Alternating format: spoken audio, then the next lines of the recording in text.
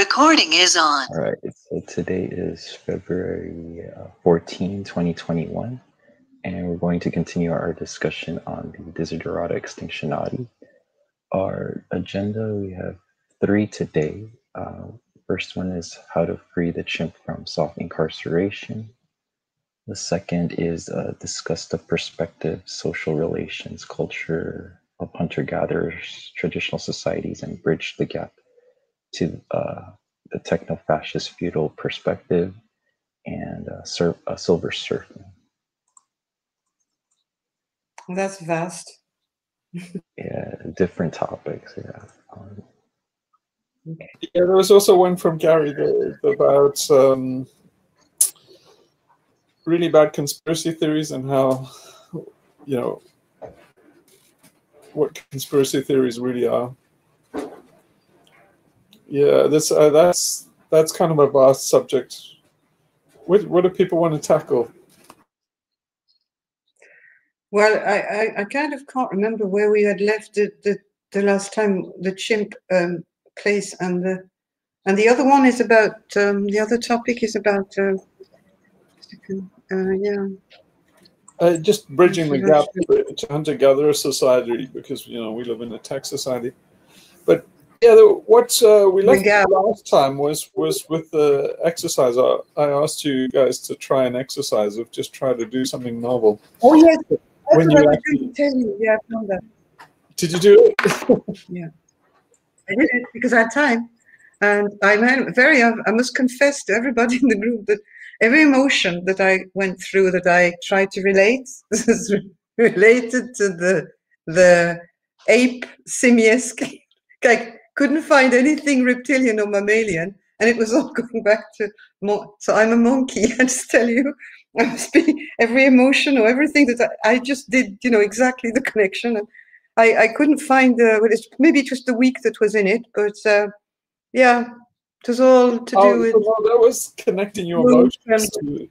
That was connecting your emotions yeah, to a yeah. certain layer of the brain. Yeah. But, but why why did you associate them with the primate brain? Because they were, I was no, I noted them first the emotions with what they were, and then I I tried to see where they were, you know, what was behind them and what they were related to, connected to, and they were all coming to um, what I had gathered you were saying about the ape or the simian um, part of the brain, or the list of the few I did. I didn't do it every day. I did it only a few times, and I couldn't find uh, the connections with anything reptilian or mammalian, or maybe fish because of sometimes hunger and things like that. But that was not emotions; it was more feelings.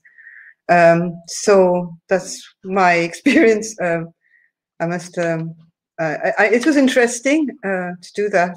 Um, yeah. Um, so, so what kind of things did you associate with with a primate? I don't have my. I don't, like I don't have, but it was yeah.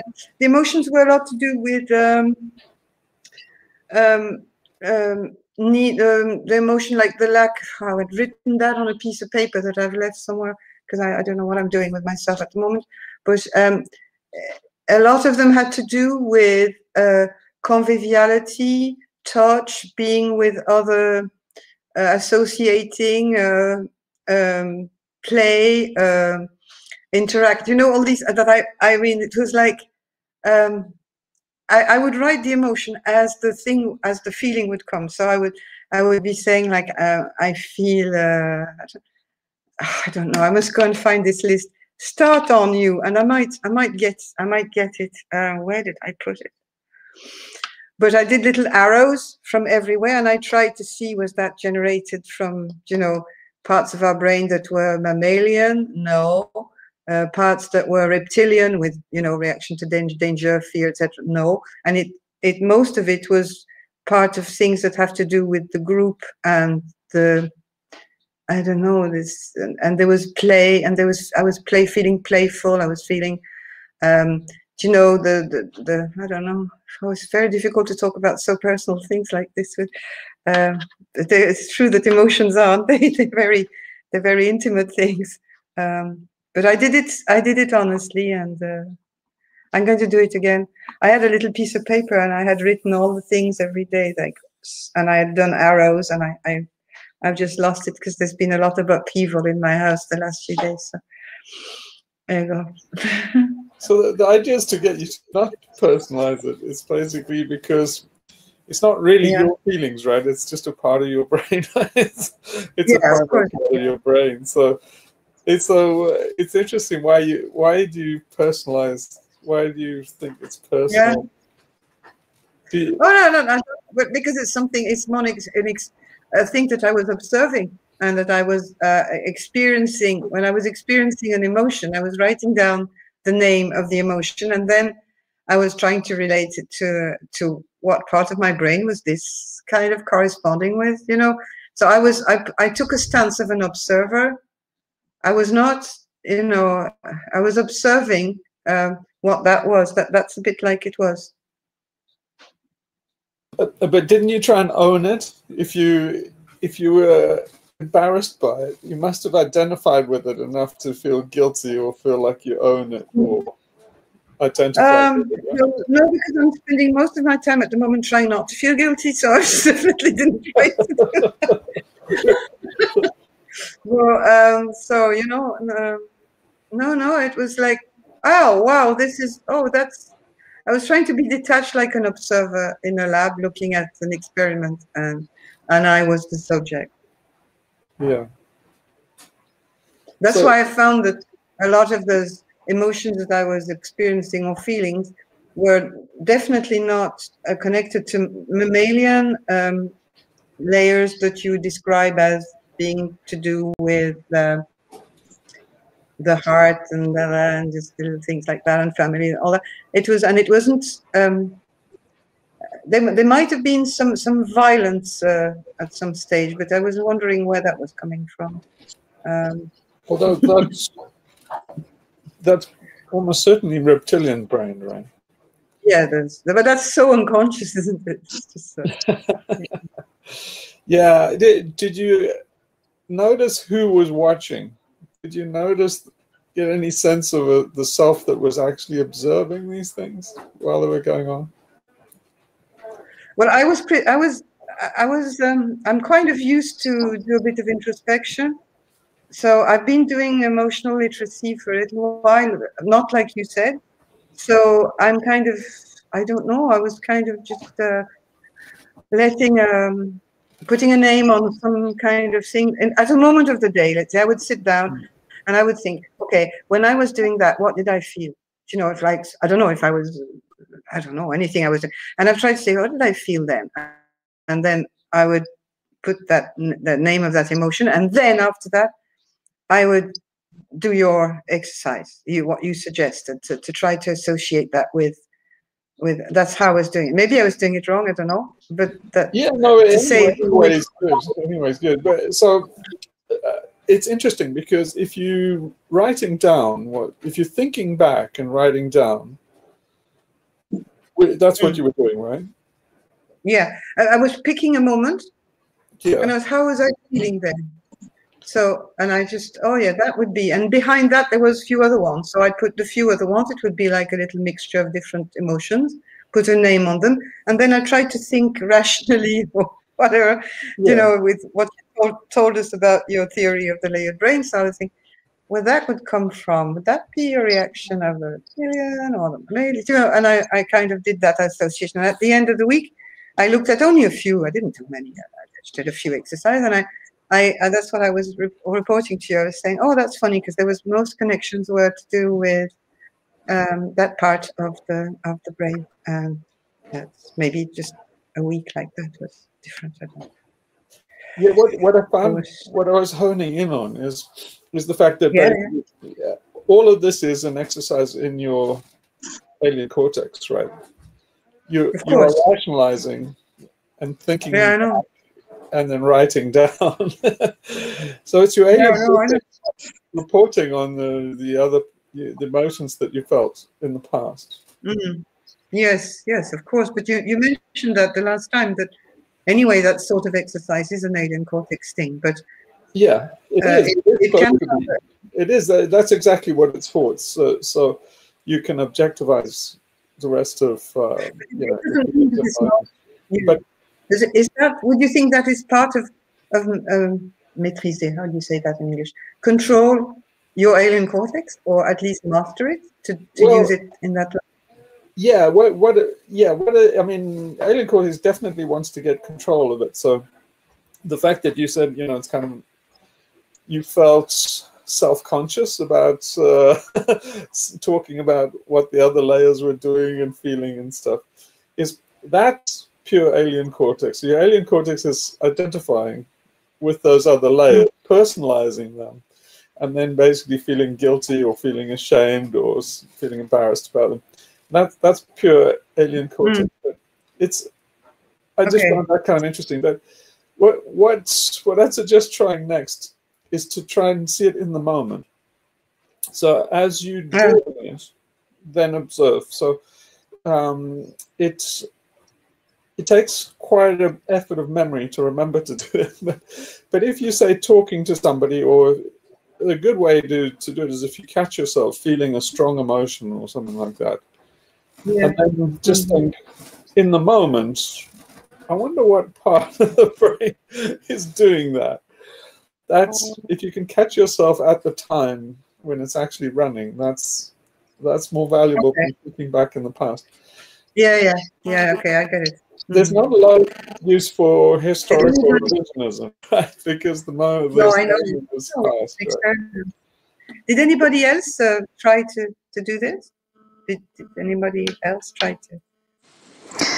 I forgot about it, but I did have an event at work uh, or an incident, and I kind of did it um, in the same manner that you did, which was um, after the fact uh, examination.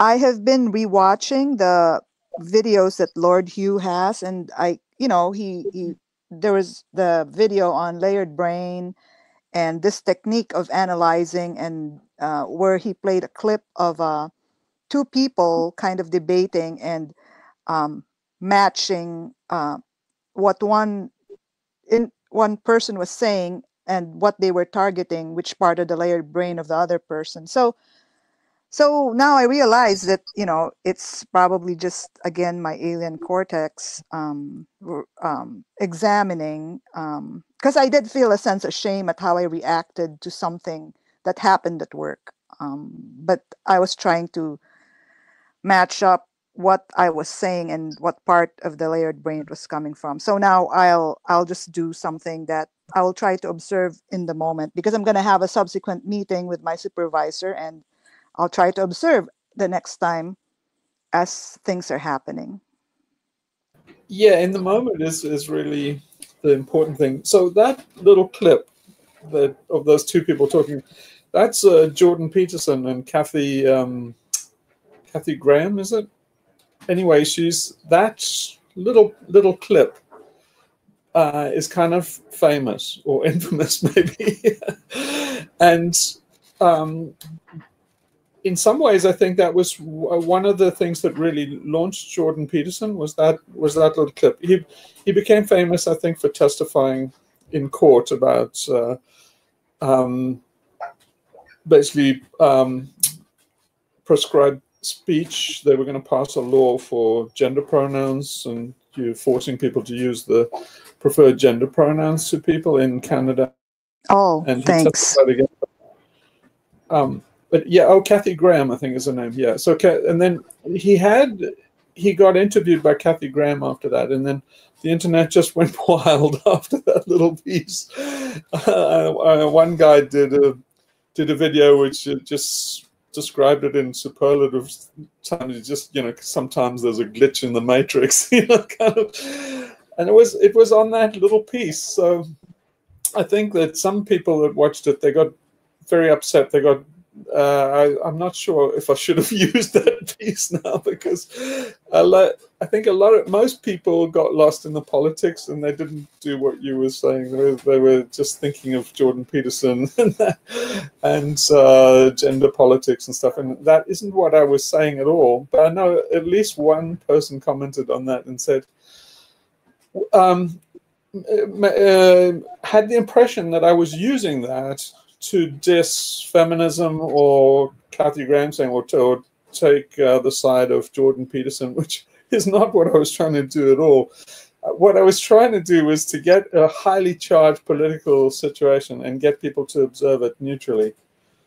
And it failed kind of spectacularly because people couldn't couldn't see beyond the politics and identification and stuff, and that's really what the whole exercise is for.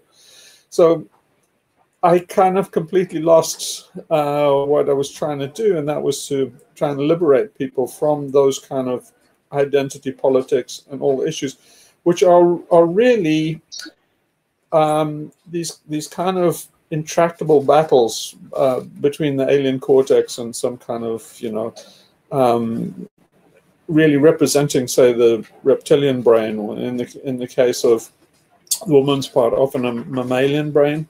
So they kind of act in cahoots, the alien cortex and the um, reptilian brain, or the alien cortex and the mammalian brain. And I think uh, the, the very first step towards new, you know, transhumanism and, and uh, not well, transpersonalism more than transhumanism. Transhumanism is cyborgs and stuff, but um, in other words, transcending, you know, this politics and gender wars and, and things like that um, is is to actually observe and objectify those parts of the brain at the very time they, they're happening. And if people could just start to see themselves as, you know, hey, that's my mammalian brain talking, and just observe it without interfering in it and, and changing it, that that's the real, real value of the exercise, and that's getting closer towards um, a kind of uh, discovery of the observing self. So that's that's what the whole thing was was was really all about. But yeah, yeah keep keep at it. It's it's well worth it. You see, it's very hard, I think, to for people to even identify things like the alien cortex, and so, um, I, it, you know, the ten bull sequence in Zen, the bull really is your alien cortex, and so the third panel is, you know, uh, actually the fourth panel is is um, oh, seeing the bull. So, Sophie, you you sent that thing with uh, who um, was it Pink Floyd or someone? I can't remember who's that's the powerful. Who, who was it? Oh, you muted. Was it uh, Cat Stevens? yeah, Cat Stevens. Yeah.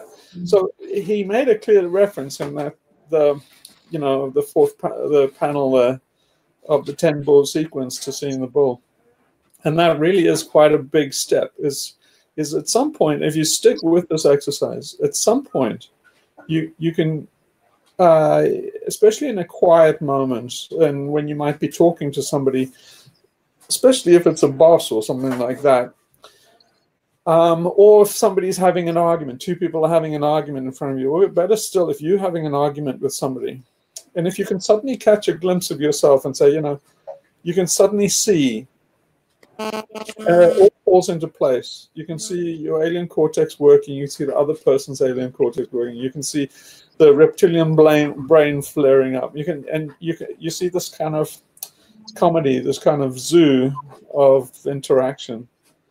Um, and yeah, that's that's a very good place to get. I found I found the list um, that I had. Um, this must not go out the group. right, I, am going to give you a few names that I've written. It's not going to go any further than the We're being recorded, you know. I know. Uh, it's very. I write very badly, so I've written lazy, impatient, giddy, fond, uh, blessed, outraged, playful, rage, repugnance, and blessed and I can't write the. I can't read. I can't even read myself. After sometimes I write so bad. So, so these were just, you know, something like repugnant is is yeah. is the the fish brain, right? It's basically it's around your spinal cord. Basically, okay. disgust is very deeply seated. Okay. Um, yeah. Rage. Um, rage will be the alien cortex. So basically, alien cortex um, gets into a rage, but it's it's kind of a dual thing between reptilian brain and the alien cortex. So, so it, the the alien cortex uh, can be doing something intellectual, even like playing chess or having an argument, and it will send your reptilian brain into a fight response because it's basically saying it's in combat. And the reptilian brain takes the cue and makes it, you know, gives a flush of adrenaline and basically assumes that it's physical contact. Um, the rage was not directed at someone. It was, it was, uh, it was at um, at a religious thing. I was outraged and I was enraged afterwards. A real like so it wasn't a physical. It was that's why I thought, oh well, where's that coming from? And I thought, oh, it's because of control and control. I was thinking the group, and the group I was thinking monkey, simiesque, ape, apian, ape kind of thing. So not maybe. Quite. Not no. quite. Basically, because it's religion, it's ideology. So the alien cortex is full of ideology and ideas and simulations and stuff. So hmm. confronted mm. with religion, it's it's a conflicting idea. And so it's what the alien cortex is saying is this idea doesn't fit with my previous ideas and the rest of my ideology. So it's uh, mm. it's, it's a, a, reaction of almost frustration. But then that that frustration then is, is, triggering your reptilian brain. Okay. As if um, you know, basically a T Rex is standing in your path, because the older layers are evolved. You know, basically the evolution of what um, the reptilian brain had to deal with stopped somewhere around, you know, scaly lizards in your path. Mm. But then uh, it didn't really alter all that much as these new evolutionary layers were stacked on top. Mm. So then uh, what happens is there's this conflict in, say, the modern world, which is modern is almost synonymous with um, alien cortex. So the alien cortex world is full of all of these cerebral activities like religion. But it translates into the old lizard world as, you know, some there's an attack on you. you know? So you get the alien cortex, which is, has a sense of ego, and then it might think, I'm a Protestant or have some religious identification then you get an attack on this very abstract thing of Protestantism is it's very hard to, you know, put a fork in if you stick it on a table and poke with a stick. But, you know, people have a very clear idea what a Protestant, for example, or some religious affiliation is in the in the alien cortex. And so when you attack that personhood, that that ego, that translates into the reptilian brain as me the lizard. so each thing has a kind of sense of um, of ego identity. And it's it, the mm-hmm. lizard is saying I'm having a personal attack because the lizard didn't have any intellectual apparatus. So yeah, any yeah. attack on it is translated into something physical. Mm. So, yeah. So that's that's yeah, the way it goes. Impatience. Impatience. So impatience uh, as well is basically it's going to be the alien cortex because it's frustrated. So it, it wants control, and it basically it's goal oriented.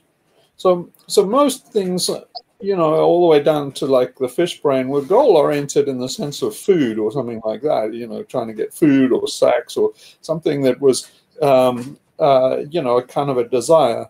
But if if you frustrated normally these days, you're frustrated with, you know, because you're talking to the bank and the help desk is keeping you on the line and stuff like that. And and so it's it's your alien cortex getting frustrated that it can't get control and can't uh, make headway. It's basically being obstructed, and so so then it's it's uh, you know can transfer to anger. But yeah, it's it, in general that's that's where it's coming coming from. Those things are usual, but it's good then to think about it in these ways and to think, you know, what what was the source of that frustration, and then try and figure it out in terms of this kind of mm. world that I'm painting a picture of for you. But, don't, you think, don't you think this this type of of exercise at the moment, like nearly all of us, I'd say, I don't know, but I presume the whole world is in lockdown and people are mostly self-isolating or at least taking very having very little social interactions at the moment and we're in a you know, a period of a year nearly of adjusting to this. So I was wondering, I was wondering about how does this affect the different parts of our mind, of our brain, this new situation with the COVID, where we are in something that we have never been brought up to experience, and it also um, kind of, uh, you know, it's uh, even the exercise in the light of lockdown, the lights of being not in a in a able to, to join the group like you would join the group normally or you know uh, have human interactions and and touch and talk and laugh and dance or whatever people do usually. Um, could that not trigger certain parts of the brain you know more i don't know well no it's a complete recipe for psychosis so they, traditionally they would put you in solitary confinement yeah. Um, and uh, the reason, so the very Victorian thing was that they'd put you in solitary confinement with the Bible to basically consider your sins. It was an extreme form of torture because it would just drive you psychotic, especially with with the Bible. And that is kind of what it was intended to do. It was really to, to uh, it's the same thing as I was talking about in the military where they put you in a double bind and then that uh, putting yourself, two parts of yourself against each other, is the essence of um, psychotic breakdown and, and, ego breakdown. So what the Victorians were really doing in those, and, and still today in an American prison, if if you go against the system and you show an ego or resistance, what they're doing in putting you in solitary confinement is punishing you, but it's it's deeper than that. It's cruel and unusual punishment because it's meant to drive you psychotic. It's meant to dis uh, dissolve your ego. So you it making mush out of your brain, but the way it's doing it is pitting all these things against. Uh, it's basically you, you have each one of these layered, you know, uh, parts of your brain that are are turned against each other. So what, what you see is, uh, particularly in, say, American prisons, you have a lot of people cutting themselves and castrating themselves and doing that. Uh, it's very common. And the reason is that the alien cortex is, is being pitted against, say, your reptilian brain. And it's it's trying to you know get control of it. The reptilian brain is like, I need to run, I need to get out of here, and the, the alien cortex is trying to suppress it. So what they they're putting your own head in a cage fight by putting you in solitary confinement. A big mistake to do that to the population at large because basically people will genuinely go psychotic. And uh, we're talking mild psychotic. It's not a bad thing to do, is uh, if you remember what I said about eupsychosis, because you need to break down the ego. We all need to break down the ego, but it needs to be kind of guided because you you can seriously get you into real trouble in mild psychosis. There is just a kind of barking mad psychosis. Not all psychosis is constructive. So you know, although you need to have a breakdown to have a breakthrough, you can just have a com uh, complete uh, dissociative breakdown that is never beneficial and you never really recover from. And that's that's what happens if people don't have any training, they don't have any direction, they don't have any reason for or purpose for being locked up. So, but if you have some spiritual goal or something like transcendence or enlightenment, then yeah, then it's it's very beneficial, and that's why monks went into cells and monasteries and sat for hours looking at a wall. If you if you went into an ashram, and, and still today you can go to an ashram where they'll put you in front of a wall, and you just basically meditate on a koan. It's designed to make you go nuts but in a eupsychotic way, it breaks down your ego. So your ego can't find any association. And that's pretty much what, what I'm giving you with this exercise. It really is going to make you psychotic. If there's anybody, any like psychiatrist or somebody watching this, they might go, shit, this guy is teaching these people really dangerous shit because they know what I'm doing. And that's basically causing, if you sit and you dissociate that badly that you're sitting and talking to somebody and you're starting to think and you know hey look at that guy. He's just talking about himself all the time. He's completely full of himself. I can see he's talking from his his primate brain you know. He's thinking in terms of status. And then a little kid walks up and like you know, pokes fun at him, and you can just see, oh, that look, I see the primate brain.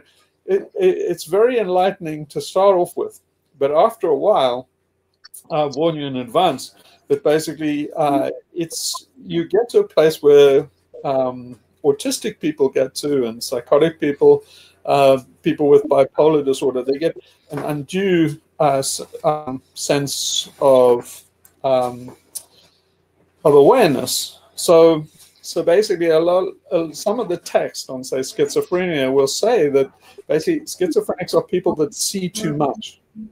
So what the yeah what the so I'm giving you the tools so you can see more. It's kind of a mind expanding experience. But what um, what in Western psychology we've lost the tradition, the shamanistic tradition of people transcending themselves.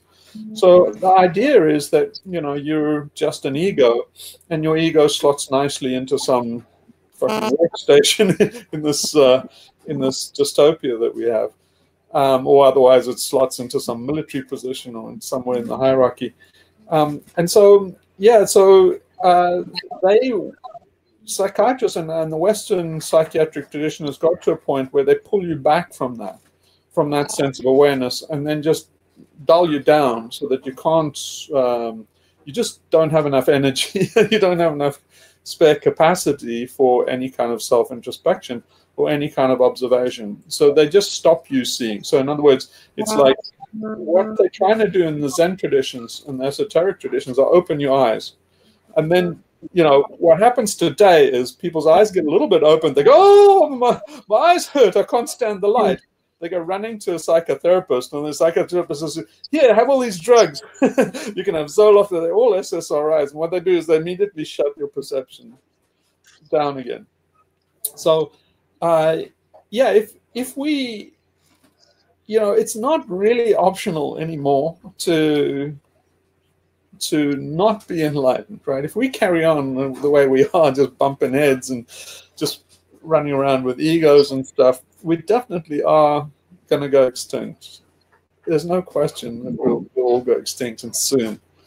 So, really, it's kind of our last best hope that uh, people do start uh, becoming more aware. And part of that awareness is is uh, the struggle against order. So it's all really a struggle against order and chaos. And um, the alien cortex uh, is trying to hold everything together. So if you take this gels completely with the macro political scene, because you take something like the Great Reset, and you take something like um, Klaus Schwab.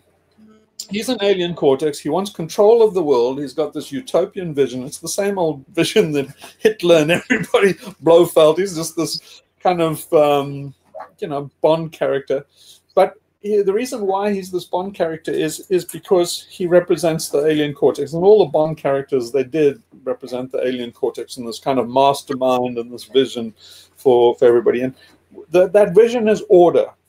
and so, and the, the idea is that you know, with order you have control. With control, you have this burning flame, and the burning flame can burn forever because you know basically. It's uh, we just fuel it forever because uh, nothing can blow it out. There are no winds that can blow it out. The winds of disorder can't blow it out. And so that that's the one side of things which I would call psychotic. I mean, not um, uh, uh, basically um, sociopathic or otherwise um, psychopathic. But that that yen for order and control is psychopathic. And then opposing that is what these kind of exercises will do, and that's basically make you disassociative and uh, create more disorder. But um, you have to basically go through each one of them. It's kind of like a journey through the, the valley of the shadow of death. You have to basically uh, do what the shamans were were doing um, in those caves. They take you through all these archetypes of disorder and order, and really it is a psychic journey um, that basically leads you through transcending yourself as a as a person. but I, I, don't think it's a thing. It's a thing that you should do too much on your own. Um, as you said earlier, um, sometimes you need to have guidance or someone. And I, I can I can see what you mean. Like you could easily um, fall into something that wouldn't be good.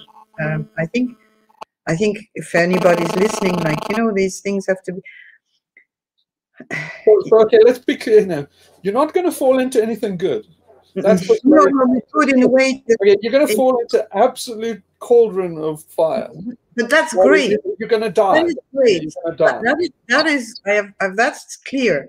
But what I mean is, there's some people who, as you explained a while ago, will suddenly go war and run back to even worse. For example, a psychiatrist or a priest and you know and uh, you know you could you just sometimes i think that i don't know uh,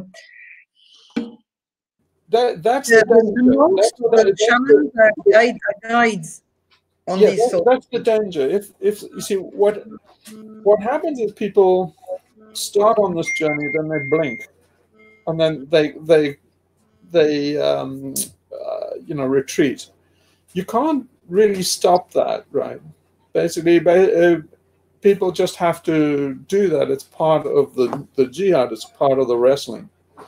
But uh, it's it's what's really dangerous is for people to run to a psychiatrist or a psychologist or something like that because what they will do is they will you know re-entrench you in this kind of limbo right? It's basically propped up by drugs and things like that. So so what I say in my videos and stuff, and what's very important is, is you have to take a kind of leap of faith, and what that means is you have to push on through it. So basically, it's it's an effort of courage, um, but the, the the biggest danger is not that you'd go completely nuts or psychotic or something like you are going to be.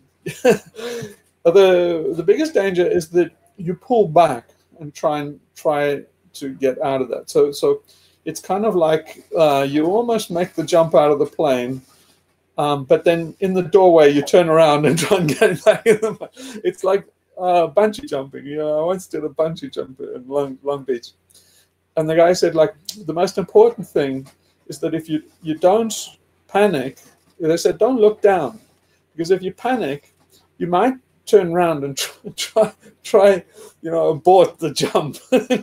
that's the most dangerous thing. He says that's where people get really fucked up.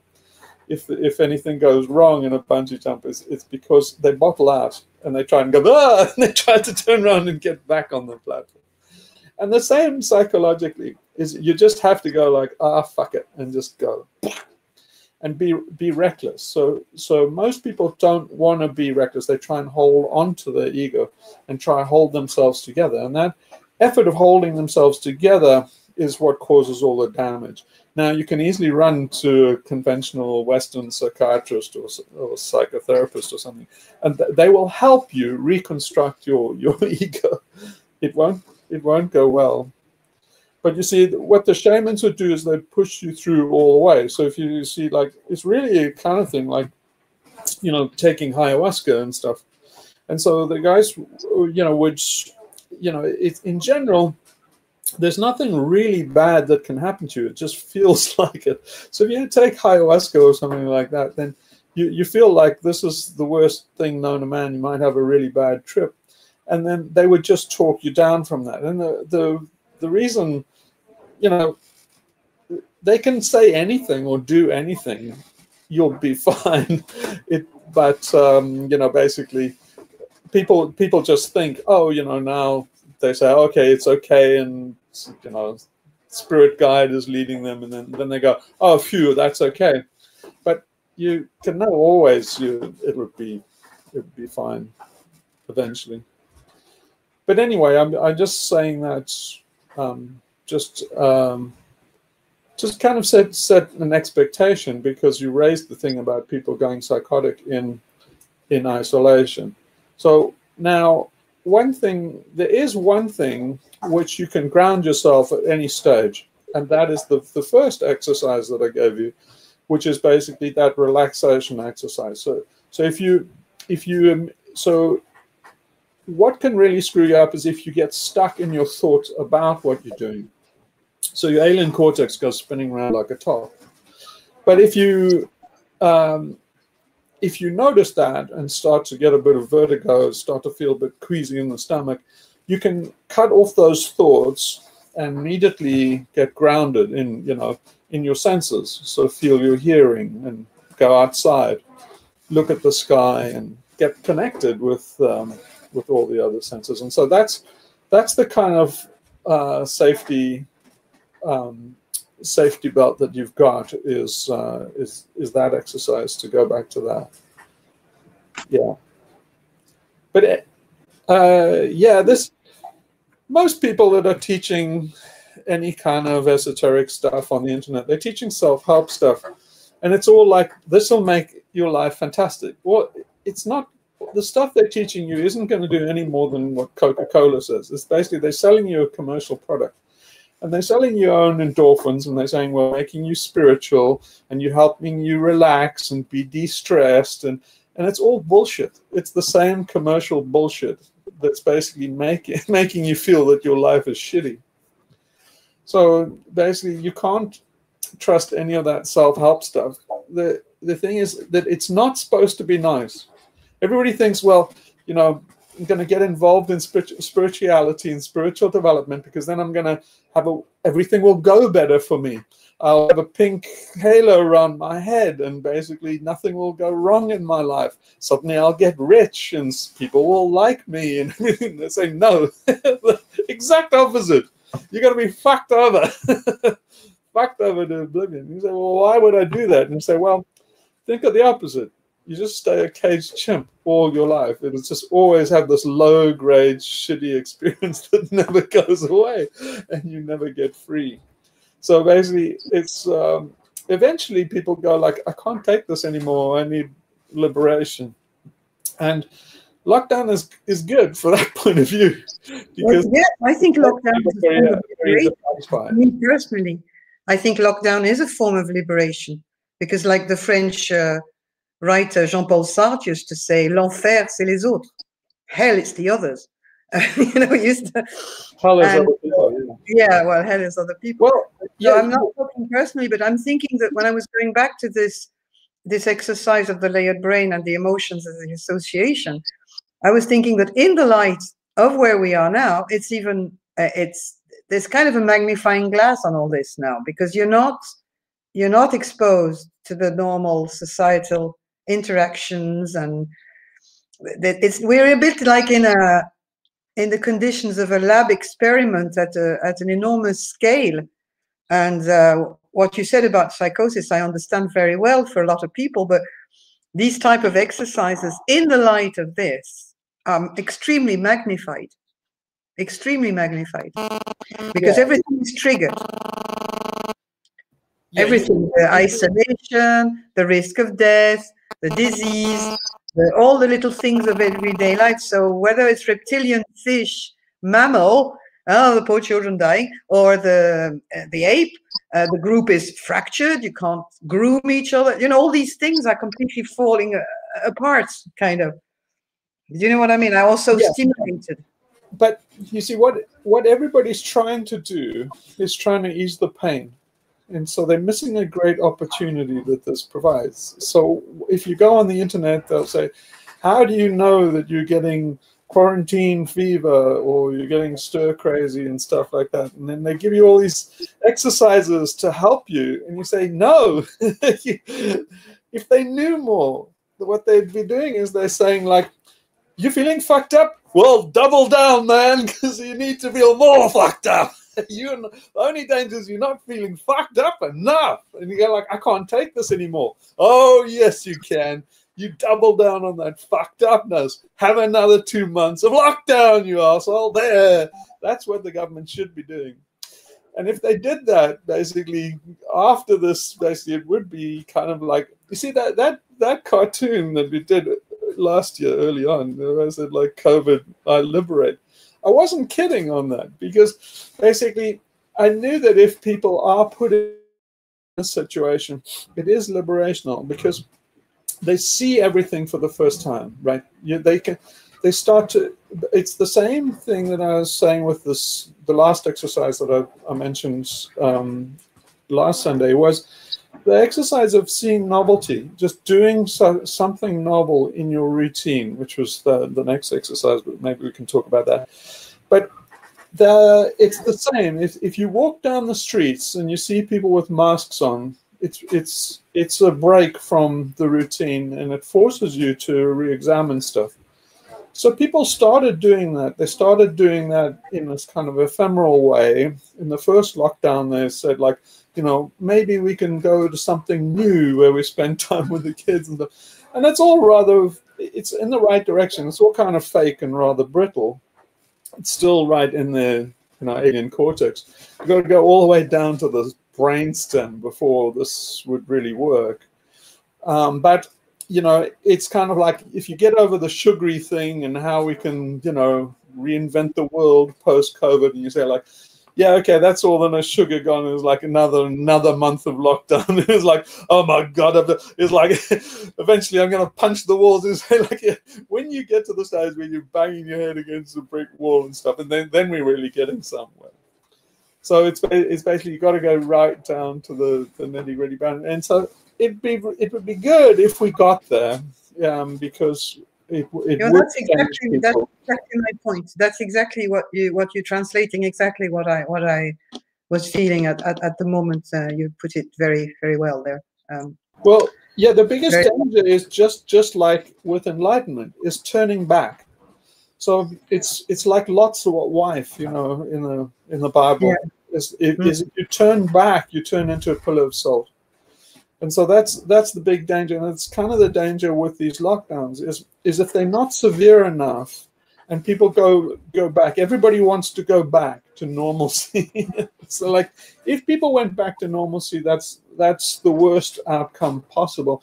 Not only can you not you can't unsee what you've seen during this this pandemic, you can't unsee the the Capitol riots. You can't unsee the the so much was exposed of authority figures in the world. You can't um, unsee this what's been seen.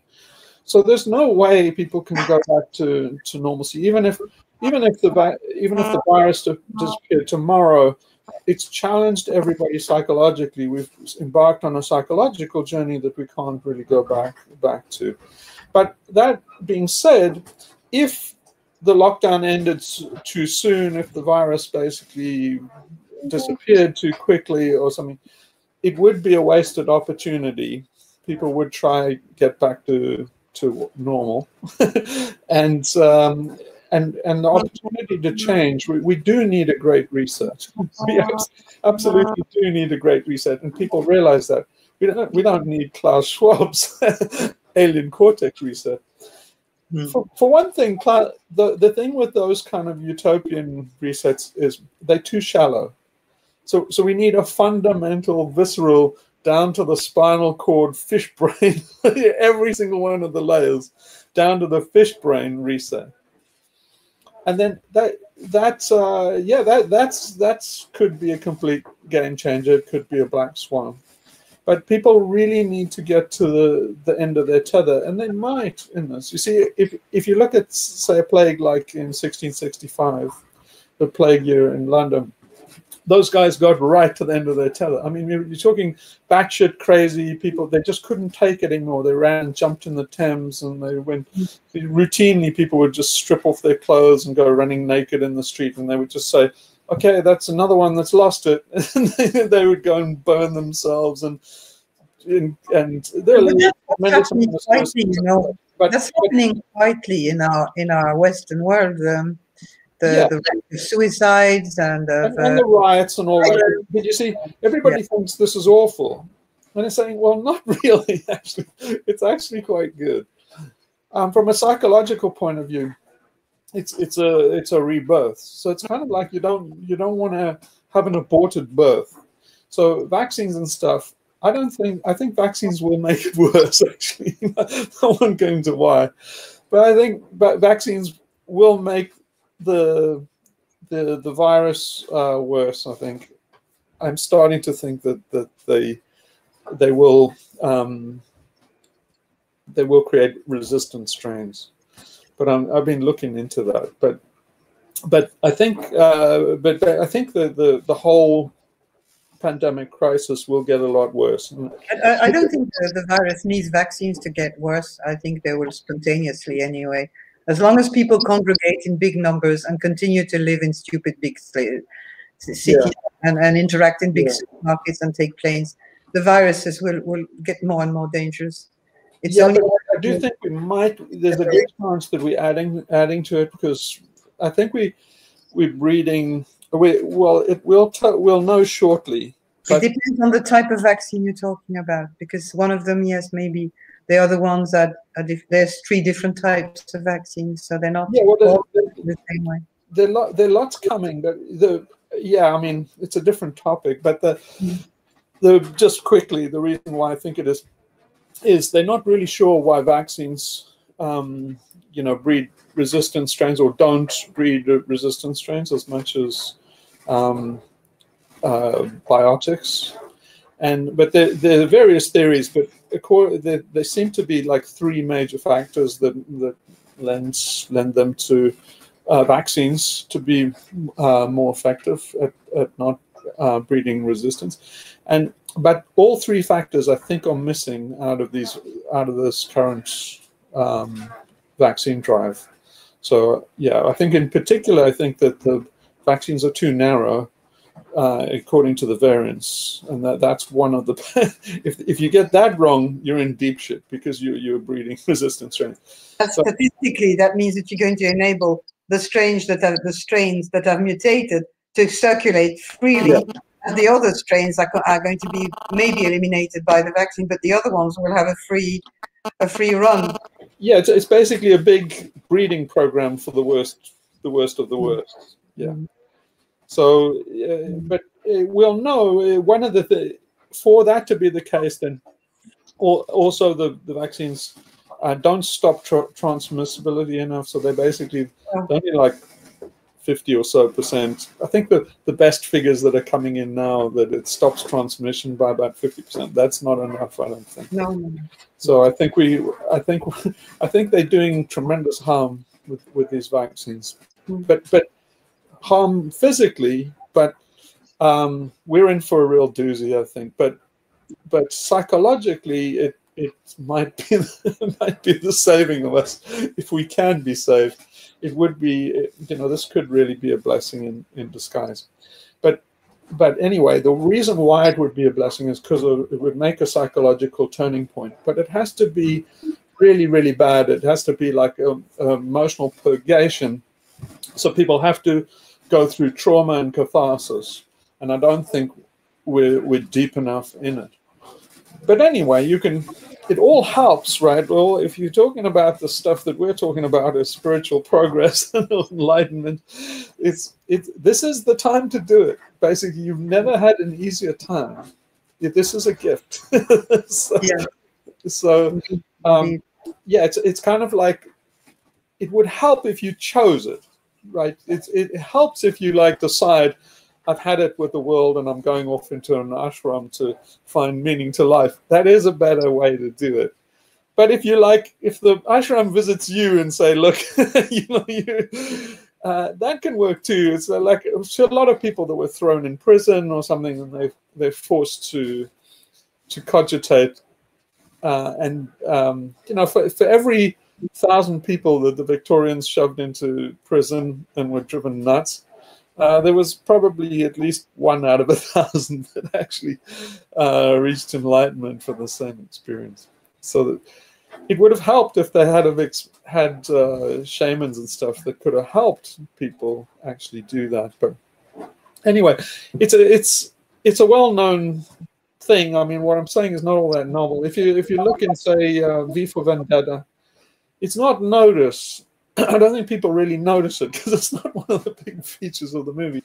But the the Minkowski sisters are very smart because uh, if you remember in the end of the movie, um, Evie is put in prison, and basically tortured and traumatized. And it turns out in the end it is by V. And so basically he they were saying in effect that that trauma is actually what liberates you. And then in the end, Evie thanks him for for doing that, you know, punishing her in that way. But it's yeah, and it's it's it's well known in all these tra traditions of of this kind of Christ-like passion and pain that you have to go through for liberation. But what people, the dangerous thing is people do it literally, and they go through the same passion and pain, but it plays out in the physical world, and then it has a real horrible result, which is death on literal. But it can play out figuratively and and work out into death of your ego, and then that's enlightenment right there. So it's worthwhile that that this is happening. It's not if if we needed if we needed anything at this juncture with where the climate is at and the methane dragon and where the earth is is just about uh, in you know I think we did pass tipping points in 2020 but if we haven't and we are going to be saved in the nick of time or you know at least a portion of people are it'll need a psychological awakening because it is a psychological problem. And this is probably a pretty good um, candidate for actually saving us. Things like solar panels and clever engineering and stuff is, would be a disaster because they're psychologically shallow. But yeah, a, a, a deep transformation, yeah, there's pandemic could do it.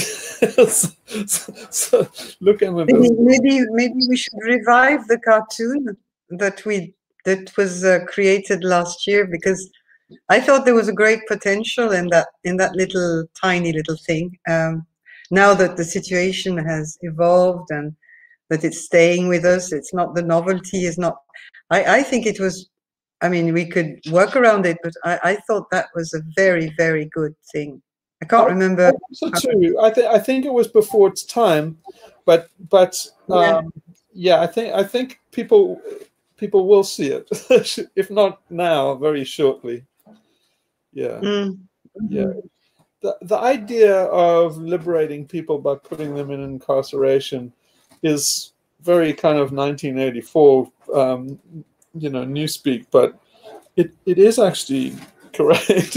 it's it's a it's like um, aversion therapy. You know, basically, it's it's you know, if you want people to really get over uh, tech civilization, which is what we need to do, the best way is to you know shove it in their faces, right? you know, there is a there is a form of therapy um, that's used uh, very rarely because there's very few of them to, to serious personality disorders, like, for example, a narcissistic personality disorder, which is a, a nearly irremediable, uh, irremediable type of condition, and it's called cold therapy. And it's actually re traumatizing the person. You cannot cure him, but you can make him have a, a kind of a, a normal life. And it's, it's based on that. It's based on actually traumatizing the, the patient uh, and it's it works. It's it's uh, it it's um, called cold therapy. It's it's actually really what it is because it's extremely hard, and it's the only thing that can work on these type of people.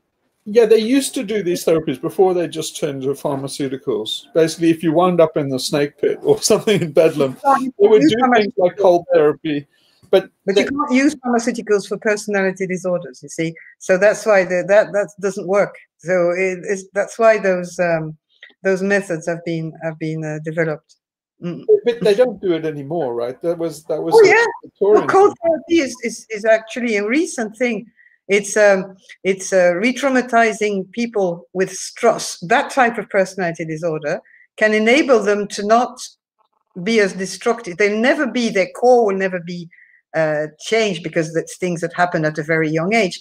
But they can they can uh, not end up by killing themselves or killing somebody around them or being too self-destructive, and they can have they can focus on a on a on a on a, on a task that they like and without having too much problems. But it's the basic What's what's interesting is that they're using exactly what you say. They they traumatizing them, re-traumatizing, re-traumatizing until the, the response, the response is different. The response is not. Uh, I w- anyway, it's not the subject of our talk, but it's. Oh um, no, it's very- I I'm kind of intrigued. So I, I, I- think, I I think think- they must be rediscovering this because they used to do this in the 1920s, and All right. I believe it's malpractice now. I didn't know that they were doing it. No, no, it's because it's um, it's it's done on uh, one-to-one uh, therapy. It's not it's not something that's done in hospitals or anything. It's it's uh, along with a therapist. Uh, you see, it's not- it used not- to in mental hospitals. Yeah, yeah. No, I know called it was done for other conditions. It was not done for that specific condition, which is narcissistic personality disorder, which is a very special kind of, you know, there's only 1% of people who have that, I think, or less. So it's not something very less, I think. So, Uh, so it's not very, but it is that method. Uh, so yeah, I have, I've got it right, haven't I? That aversion therapy is where you give somebody the Oh. more, like to get to get somebody off smoking or yeah. something. You make them smoke, you know, tech world. Recording in Recording is on. So uh, did I get that right? That aversion therapy is the one where you give Yeah. people loads more of the thing that they basically addicted to. Yeah. So they basically choke Yeah. on. Yeah. So Yeah, yeah. That's, that's really, all, all of these things are attempts, all of these um, psychiatric therapies and things from uh, the 1920s, basically pre the pharmaceutical revolution, was they were attempts to rewire people's brains. So they did glucose therapy and lobotomy and stuff like that, which they, where they they really are attempts to radically just uh, re-alter people's brains. And then in you know with MK Ultra and those kind of things, where they they they did LSD research, that was also the idea was that it could rewire people's brains. And I think LSD has shows a lot of potential. I think they're kind of starting research and stuff again. No, the, the, the cold therapy I'm talking about, it's it's really re-traumatizing uh, uh, the person in a hostile, you know, non-nice environment, and to recreate the origin of the original trauma. And uh, it's it addresses extremely severe cases. You know, it's not something, but it it's it is used, and it can it can stop them from getting It's worse. the, same, it's the same idea. It's just to get people to rewire the neurons. It's the same idea. Yeah, it's the same idea. Yeah. it, it goes back very far. I think um, uh, King George III was, um, they did it to him. All right. yeah, Okay. Yeah. But yeah, the idea of um, traumatizing people to, to cure them, it's basically, it's, it's, it's very old and well established all the way back to shamanic times, I think. And I think that's what Yeah. a lot of the things with ayahuasca and um, psychotropic drugs, mescaline and magic mushrooms and that, they, they are getting, I think it's, I getting think out of a rut. Right?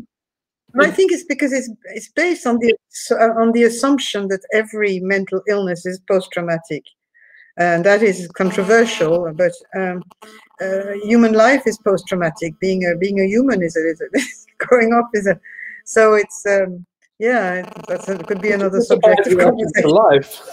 About- but uh, yeah, I think where we, I mean, everybody's been traumatized by industrial society, and I think most people just don't realize it. It's not, it's not obvious uh, to people because they have a normalcy bias and they they taught that the majority is the correct thing. You know, go run with the herd and uh, the whole herd has gone nuts. I mean, every one of us is barking mad, and uh, we're not calibrated to. we're calibrated to see that the exceptions are deviant, and the norm is good.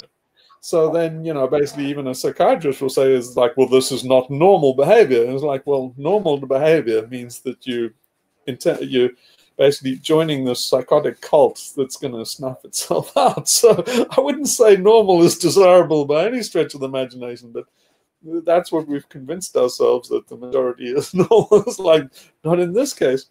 So the I, the thing was, shamans were had the job of knocking people out of that rut, and and so um, since shamans don't exist, odd people in that have been relegated um, and suppressed by our alien cortex in this. There's a lot of plastic shamans. There's a lot of yeah, well, are selling themselves as shamans, and unfortunately, they're taking people on paths that, that are just absolutely. It's desperate to see some people who are calling themselves shamans. There's, there's a few left, probably in Siberia and some very remote places of, of South America and some places like that. But other than that, you've got this kind of booming of shamans everywhere and just, uh, they're mainstream in, in South Africa. They're mainstream in Africa uh, they call witch doctors or sangomas, but the mainstream, the, the majority of medicine done in South Africa is done by sangomas, not by Western medical practitioners. So, but the, the, the value of the shamans, of traditional shamans, was to, I think, get people out of a rut. And uh, basically, it's I think it's a counter reaction to psychopathy. So, uh, it's kind yeah. of the balance for psychopathy. Yeah. So, yeah. what our society has done is it's gone too rational. It's too psychotic. Um, no, no, I mean, um, uh, basically, we have psychopaths leading us, and we're we are too um, we're too rigid. We're too uh, alien cortex, and that's the psychopathy. And we've we've lost the traditional antidote to that, which is shamanism.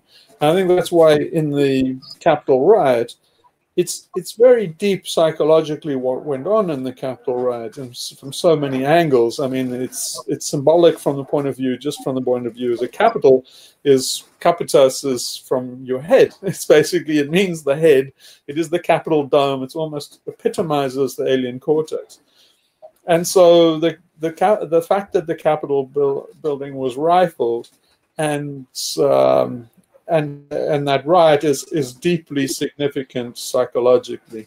And there was that guy dressed like a sh- pretending to be half shamanic. You remember that sort of? Well, the, I think that guy, the Human shaman. The reason yeah. why people were so fascinated by it is because they can recognize in folk memory what what's going on, and it is an exorcism. Basically, what that that um, QAnon shaman, even the even the uh, the shallowest liberal that thought you know didn't think it was ridiculous they they were kind of fascinated by it no the fascination is that it, it has deep roots um, that uh, sh- shamans are according to Paula Mannion and a good Julian Silverman and these guys, they, they, there's no difference between uh, schizophrenics and, and shaman. And so the there's the shamanic explanation for schizophrenia, I think, is a good one. And since schizophrenia runs in the population at a rate of about 1%, and is exactly the same as psychopathy is also 1%, and they're both genetic. So they assume, and they're very old, so they, they assume that they have some evolutionary purpose. And I think it's easy to see what the evolutionary purpose is. You do need psychotic people in, in a in a traumatizing or experience like a war or a disaster you need people that are batshit crazy. It's like in war in war times you have people like Patton and that, but they're pure psychopaths. But they they come to the fore in time in those times, and I think that they have some beneficial survival value. Uh, when the war is finished, those people become a dire threat, and so then they need to be eliminated. And then the antidote to them is is the shaman and so I think that's that's what we're seeing now. We we have a you know a world full of psychopaths and uh, shamans. I mean, like Roger Hallam is uh, fulfilling the, the shamanic role. So these shamans are coming out of the woodwork, and it's it's corrective. It's it's healthy. Hugely disturbing for people, but you know, they all want to be on this little narrow little path. But that narrow little path now, everybody can see is even even you know Klaus Schwab can see that that narrow path is suicidal. So by the time an oaf like Klaus Schwab can see that uh, we're on the bad path enough to say we need a reset, is like you know, when a psychopath is telling you you need a big reset, it's a great reset is like, yeah, you you better believe it. And so, yeah, anyway, for us in the meantime, the all of this is is hopefully useful to you personally. Any but shamans in the group? What's that? I said, any shamans in the group? yeah, I'm I'm fulfilling ah, yeah. role. Yeah. Yeah. What, what, I'm doing is is a shamanic role. Yeah. It's, it's basically I, I dispense with the horns and shit, but yeah. There's uh there's comments in the in the on the sidebar there, and um, I just have a question, or maybe maybe it can be for next time, but there seems to be a quote conspiracy theory unquote that the COVID 19 disease pandemic is a planned one uh, based on going to the website of the World Economic Forum, where there's a page where the coronavirus is the center of all the strategies and the plans that will happen. Um, and it's related to the Great Reset. So, uh, well, just think, just thinking about that, the Great Reset, like you said, is very orderly, very planned, very alien cortexy. Um, you know, my initial thinking was, oh, this is so bad that if the COVID nineteen is planned and it's going, it's the jumping point for pushing all these.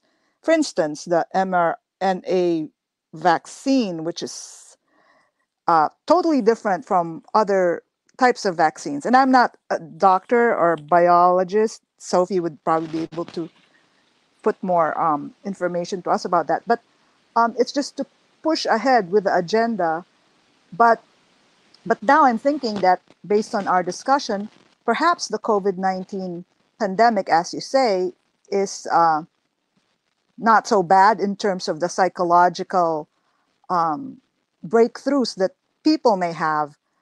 But still, and also I'm thinking that something that's planned so well like that, um, it seems like there are so many points where of weakness where it can it can collapse or not be implemented.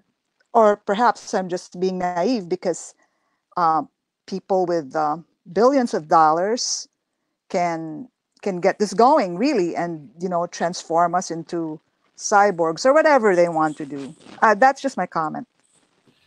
Yeah. Okay now you just opened the thing which we came in on and that's what gary raised. And so unfortunately here's a good hour or two. Maybe next time. yeah, I think maybe we must we must keep it for next time. But I can tell you my view on this is is um, yeah the yeah. Don't know how I can make it make it short, but there definitely are conspiracy theories. It's but they're not like people think.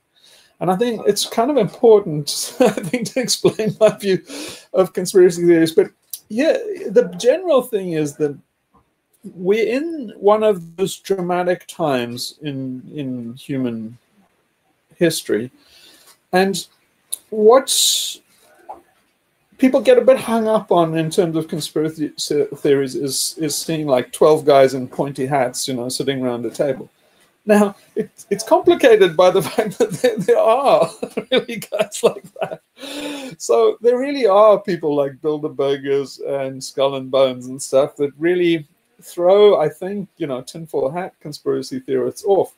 Charles Schwab, when he got um, he got presented he got presented something i can't remember what it was but do you mean klaus klaus schwab yeah, Klaus Schwab, he, he got, you know, the founder of the World Economic Forum. He he got presented the stuff in this freaking fucking occult regalia. he was he's there on on tape, and so then everybody gets bent out of shape. But it's not it's not quite like people think. The first thing to know is that everything's a cult. Everything's a cult, right?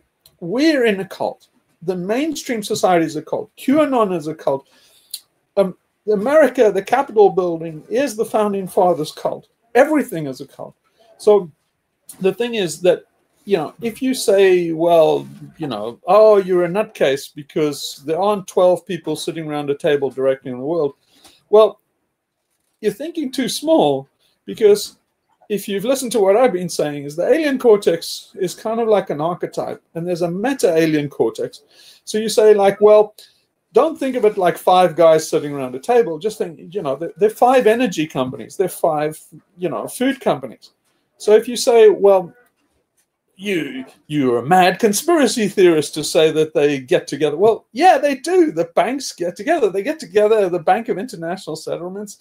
These guys get together in Davos and basically it's it's the meta alien cortex. So so it's not like five individuals sitting around the table, but five corporations in law and every in psychology, they are entities in themselves. They are a single cult. They have personage in themselves. So you can get five big tech companies. And then those are the guys in the pointy hats. Those the the it's not the directors or the CEOs of those, it's the company the company Apple or Amazon or something, as a collective, it is a leviathan that is the equivalent of the conspiring person, and it's it's not it's not that exotic because like you can go back just a little while where these guys, the big food companies, they were prosecuted for colluding to set the price of lysine. Well, that was in the 90s. They don't do that anymore because they collude with everything basically, if you're just seeing the big tech companies, they monopolies. They just got together coordinating this program of censorship. So you say, well, well, you know, yeah, but it's not some cabal of guys sitting. Yes, it is. they got together, re guys representing those big tech companies, and they said, this is what we're going to do. They coordinated. So conspiracy just means conspire. It just means con together, and spy means is, from spiros. It basically means breathe together. So it's conspiracy means a group of people breathing together, and it basically people people do that. They get together and they breathe together. They basically coordinate their actions. And that's happening everywhere. And it's happening in all dimensions. It's happening top down and left to right. You get together with your friends and conspire. I mean, every school kid is getting together with one lunch table conspiring against, and everybody says, Oh, you got a tinfoil hat. Everything's a conspiracy theory. It's like fish, you know, people can't see it because conspiracies are like water for a fish. And we all like fish swimming in these conspiracies. So that's the one thing. But then when they all come to a head at a dramatic time like this, you see all these coincidences that look far to um, far uh, beyond something that could just be a random coincidence. And then you get these synchronicities, you get these crashing synchronicities. What that means is not that the whole cabal of people that set this up planned it and executed it. What it means is even those people are actors in this play of archetypes. And so everything just gels in a way. If, if you get on those high points of psychic energy and transformation in, in humanity's history, all the archetypes archetypes clash together. So even the main players like Klaus Schwab and stuff putting these things together, they almost swept along by the tide they're creating. And that's the way to see it is that is that not somebody came and released COVID as part of the Great re Reset. It's just that kind of thinking converges to make that kind of outcome manifest. And the way it happens is, you know, you get China thinking we're going to, you know, have this kind of conspiracy to grow bigger, put a peg on the dollar, and build our power. You know, nobody can say that isn't a conspiracy. That's that's you know you read in the newspaper then to do that, they start thinking in the way of somebody that, that, that is like that. What they do then is they start thinking, well, we need bioweapons research, we need to do this illegally. They start cutting corners in almost predictable ways.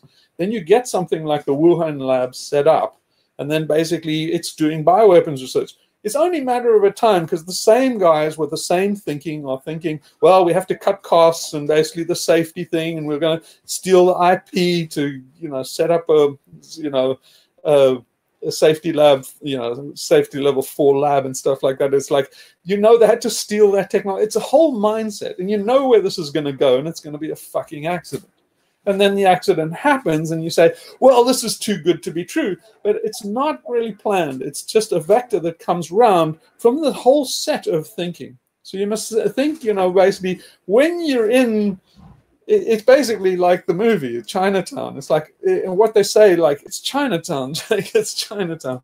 And what he's saying is, he's saying like that's what goes on in this territory. If you think this way, you do this stuff, and everything converges, and then it looks like, whoa, that looks like it was planned. And say, no, it's basically, you know, if if you keep on dancing on a wire, you're going to fall off the wire. and the wire you fall off is the wire you chose to dance on. So all these things converge in this massive synchronicity. And it, it, it goes deeper than that, but I'll leave it at that just as, as a way to think about those conspiracies. It's not as if you could go now and figure out who who might be behind a big conspiracy like that, say shoot them in the head and redirect history it, it would be impossible for you to actually do that. The forces are so much bigger than those people, even the people that might have started it. So yeah, so but we must go deeper into this because it's I think I feel it's very important, especially at a time like this. Yeah. It, Thank it, you. It leads it leads into Jungian archetypes and synchronicity. But we are in a very synchronous time. And that these potential very, times in history are like that. That would be very interesting to go into that really it's, thank you yeah it's like the a kairos convergence of all these um, things that have been happening in the background coming together it's a convergence of uh, kairos and chronos so you know the saying is that every every um, chronos uh, every every kairos has a chronos but not every chronos has a kairos so what we're seeing now is all these threads of kairos coming together. It's it's it's like a grand play, and um, and these archetypes sync together. So very famous people that that were at the convergence of these um, of these great events in history. People like Churchill, they had far too many coincidences in their lives. Uh, it looks like a conspiracy. You know, for example he always happened to be, Churchill always happened to be right at the point of history, almost where the spotlight was, wherever the newspapers were, wherever the, the great thing in that day, right to the extent that he was in the gallery in New York at the crash of 1929. As the crash happened, there's Churchill standing in the gallery watching. And there's so, he almost, you know, walked through history that way almost like Forrest Gump, you know, the Forrest Gump movie where he always manages to be at yeah. where America's attention is in history. And um, and Churchill did that. And it, I went, uh, I, I, delved very deep into trying to understand how that happens, and I, I'll I'll try and share it with you. But it's um, it's it's rather fascinating. We're at one of those times where you know basically these all these events are bigger than the people that create them even though you, you've got to be pretty sophomoric you know middling intellect uh, conformist liberal to go like oh they're not conspiracy theories. Oh you what you think people got together? And say yes they did. But it, the whole what you don't understand is that these events are much bigger than the people that are creating them. They're almost pawns in the, their own tide. So hitler was also one of those guys. They're very very yeah and um, and Trump is also turning out to be one of them. but all right, well, that's better do that for now. But but if you want an exercise for this week, then I'd say um, just do the one, the same one we did last time. Of just try and catch yourself in something that you normally do habitually, and force yourself to do something. And, and to do it just in the moment when it happens, not to think back. Just to try.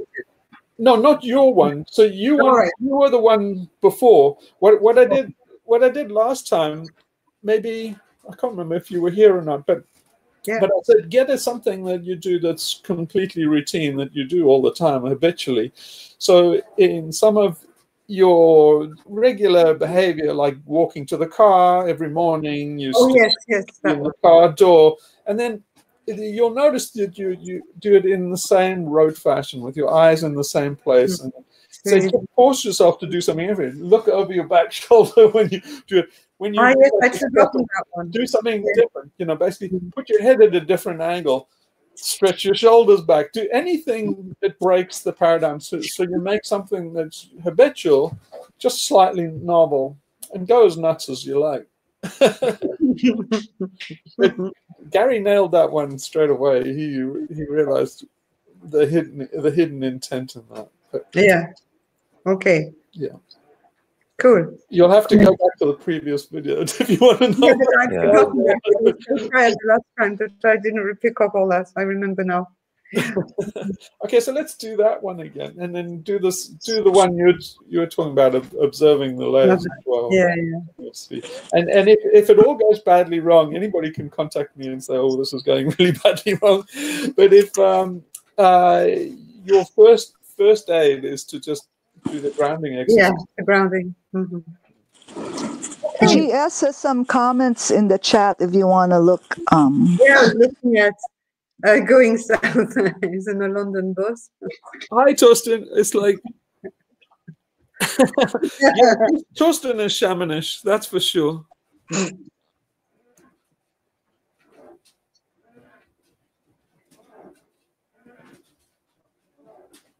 Yeah, yeah. You see, I, yeah, Torsten, Torsten, you should talk about your experience too.